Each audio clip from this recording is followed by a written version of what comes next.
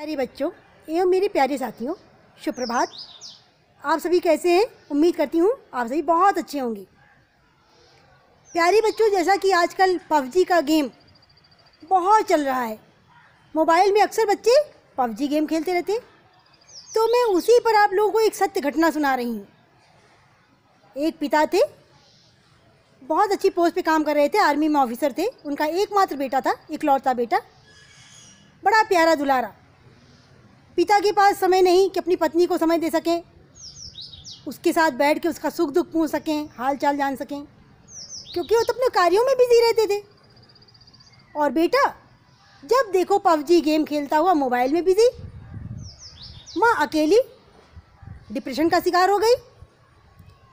एक दिन माँ ने अपने पति को फ़ोन किया कि मैं इस दुनिया से तंग आ चुकी हूँ, ना तुम्हारे पास मेरे लिए समय है ना बेटे के पास मेरे लिए समय है। ये अकेलापन अब मुझसे बर्दाश्त नहीं होता है।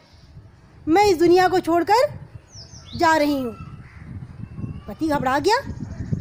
ऑफ़िस में था। तुरंत कैसे आ सकता था? उसने अपने बेटे को फ़ोन किया।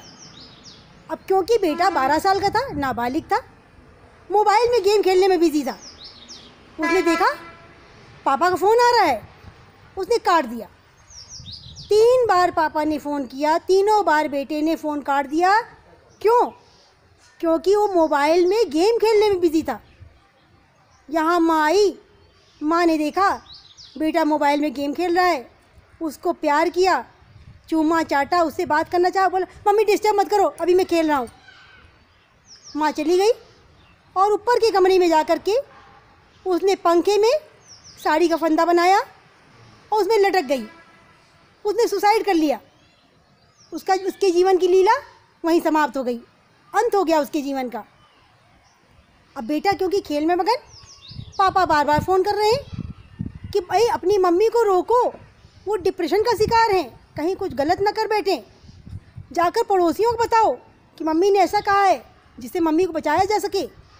लेकिन बच्चा तो मोबाइल में मस्त, वो क्यों ध्यान दे? पिता जब आए भागते दौड़ते अपनी कार लिए हुए घर में जैसे घुसे। देखा? उनकी जीवन संगिनी ने तो अपनी जीवन लीला समाप्त कर ली थी। और हम बच्चे को भी कुछ नहीं कह सकते थे क्योंकि बच्चा तो बारह साल का था और वो मोबाइल में गेम खेल रहा था। अब बताओ दोषी कौन है? क्या वो बच्चा? क्या वो माता पिता जो अपने बच्चों को मोबाइल लेकर दे, लेकर देते हैं? अगर आप मोबाइल लेकर देते भी हैं तो उसमें क्यों नहीं डलवाते? हैं क्यों बच्चों को बिगड़ने का अवसर देते हैं? फिर कहते हैं, मेरा बच्चा बिगड़ गया, वो रातों दिन मोबाइल खेलता है। तो कहीं हद तक हमारे अभिभावक, हमारे माता पिता भी दोषी होते हैं। मोबाइल बहुत अच्छी चीज़ है, जब हम उसका सदुपयोग करते हैं।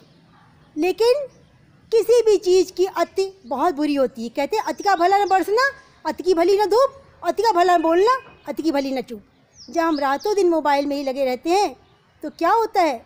ये हमारे दिमाग को कमज़ोर करती है, हमारी आँखों को कमज़ोर करती है, और जो इंपॉर्टेंट कॉल होते हैं, क्योंकि हम तो खेल में बिज़ी होते हैं, हम उस पर भी ध्यान नहीं देते।